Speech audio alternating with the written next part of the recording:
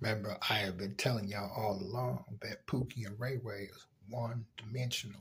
This proves it. See, remember I told you I've been making videos about what they would do in this time of the New World Order, which is commonly known as Agenda 21. See, they thinking that they can come all out, you know, with them burners and be busting at people, you know, and, uh, and killing them, and that nothing ain't gonna happen to them. But I'm learning by watching the news. Now, y'all know that I cover a lot of stuff about that, you know, showing you proof that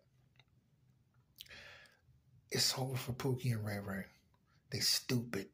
See, it's one thing to be out here. Like I said, I'm from the hood. See, and one thing about the hood, you got rules and regulations to follow. So they figure they don't have to follow nothing, and they can do what they want to do. And now they're getting themselves sentenced to capital murder.